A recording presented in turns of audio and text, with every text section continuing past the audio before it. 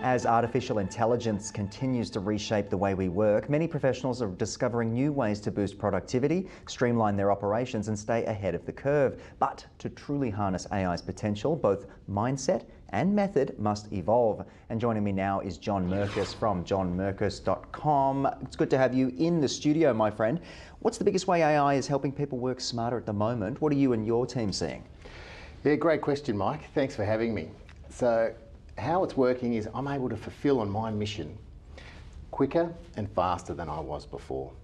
So, we're all in business or in life for a reason. Mm.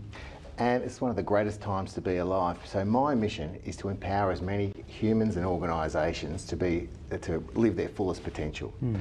So I can focus on that mission rather than copywriting doing those kind of things. Now, I don't mind doing those things, but that's not a true focus on my mission. So I can really hone in on my mission. So if you and also if you're not a business owner and you're a professional, you can also use that as to why you're a professional, why you're in business. So it really helps impact hmm. and and live your why. Yeah, I think there's that clarity that it brings. You know, when you're not busy, you know, doing numbers or doing copy and these sorts of things. It, and it's about getting that clarity about your why, as you've mm, said. Mm, mm. Um, but let's touch on how professionals can shift from AI confusion to confident use. There are so many tools out there. People get very excited, very confused, yeah, very quickly. Yeah, yeah, and it's easy to get overwhelmed. Yeah.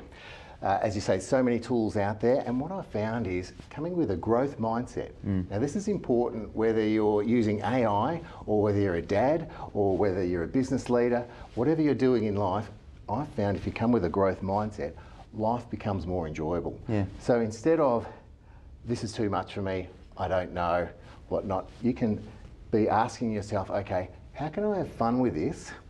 And I'll come with a curious mindset.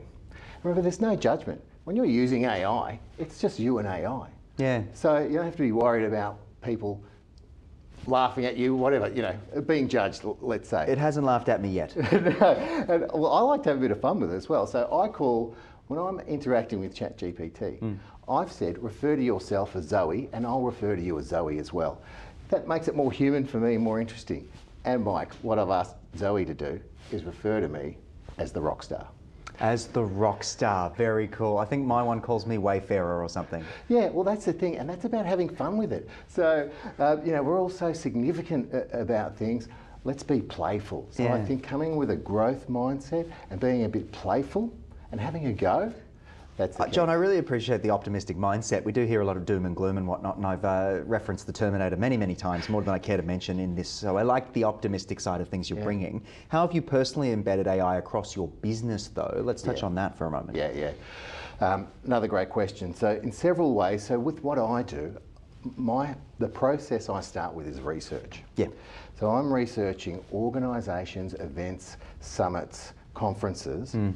that want to hear from someone like me on stage speaking, empowering individuals. So AI helps me research those kind of events all over the world. Yeah. Not only does it do that though, it looks at how my skill set and what I talk about fits in with their mission and what they're about. Maximise your service to them. And another level, Mike, it looks at the previous speakers they've had before and seeing if there's any gaps or anything that I can bring that they haven't had before. So it helps me differentiate myself with what they've had before. And that kind of research yeah. would take months, ages, and a, and a lot of time and effort to do that. Yeah. So I can have that done.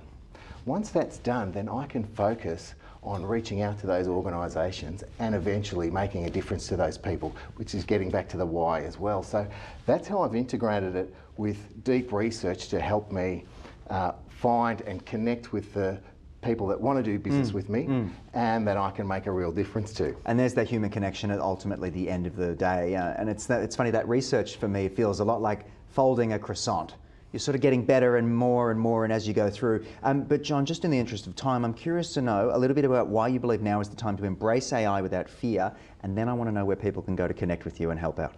Absolutely. Well, why this is the best time is because I'll give you another example of, of how I integrate it in my business. Mm. I have a virtual boardroom, a think tank, a focus group if you like. I have Anthony Robbins on it. I have Simon Sinek on it. I have Mel Robbins on it. They're not related. They're great thought leaders, though.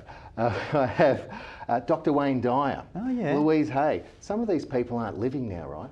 But they are in my virtual boardroom and they can help me with innovation. I can run ideas through that group of people, right?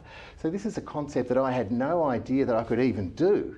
Um, so, imagine having access to those people. That would cost hundreds of thousands of dollars Yes. and a logistical nightmare because some of them aren't even on the planet to get them in a room to say, hey, I've got this idea. Or if you were me, what would you do in this particular scenario using the benefit of all their knowledge and experience?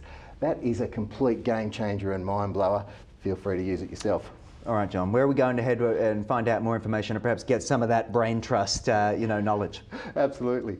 JohnMerkus.com, that's uh, Merkus with a K. You can see all my services there and also check out my podcast, Rise and Thrive Conversations for Greatness. Wonderful stuff from you, my friend, and thank you for joining me in the studio.